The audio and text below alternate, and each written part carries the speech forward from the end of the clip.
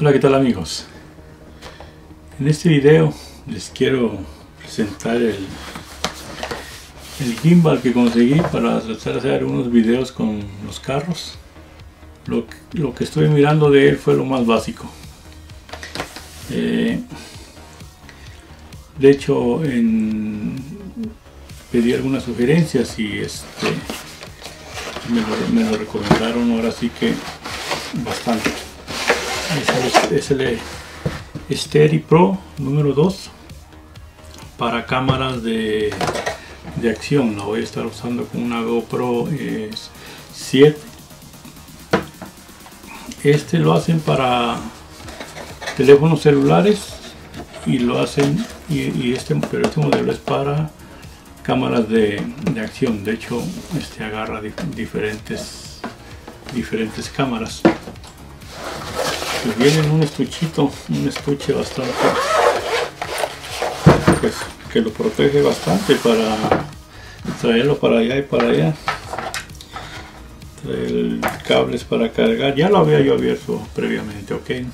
No, como quiero dejar claro, no es ni un preview, ni un invoking, nada de. Simplemente quiero presentárselos, es, es, es como que voy a, a tratar hacer algunos videos. Trae una batería ya este, integrada que de igual manera se puede conectar de la salida de una salida que tiene a la cámara para no estar con que se nos va a acabar la batería de la cámara. Supuestamente nos da hasta 12 horas conectada a la, a la cámara. Yo tengo una cámara. Mi cámara es una D90 es la que usaba mi esposa para tomar las fotografías yo usaba una Canon pero pues ya el video de esta ya es graba 720 y ahorita ya se ve mucho la diferencia eh, online. De hecho la GoPro eh, tiene mucho mejor calidad que esta graba 4K pero para la fotografía la sigo usando. La mayoría de las fotos que, hago de mis carros la hago con ella.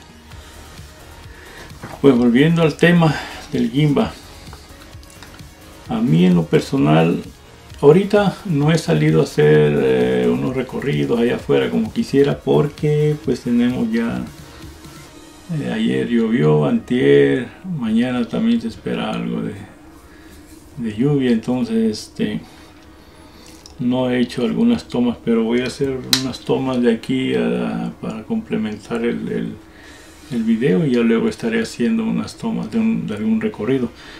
Esto, la verdad que me sorprende. Bueno, es para una cámara de acción, pero por lo, por lo que he probado, este, pues lógicamente cuando uno graba con la cámara en la mano es muy diferente. De repente, aunque tú veas que estás haciendo una toma eh, con un encuadre pues recto, ya cuando lo ves en, el sistema ya dice uno, wow, eso me salió así, así.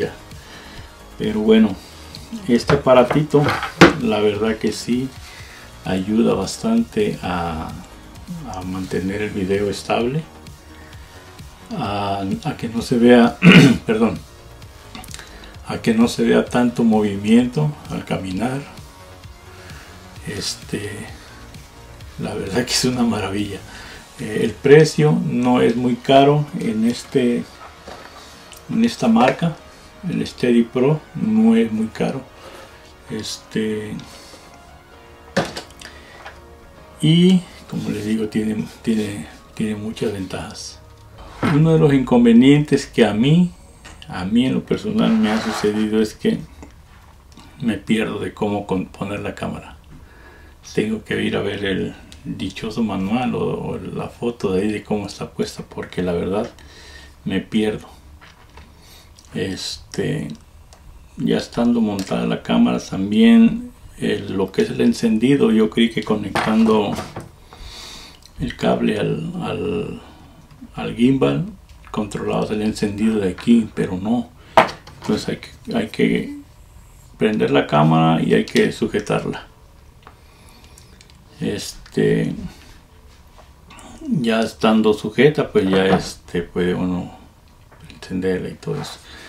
Ahora, independientemente de todo eso, pues como les digo, a mí en lo personal me parece, me parece muy, muy, buen este, pues un buen aliado para los, para los videos.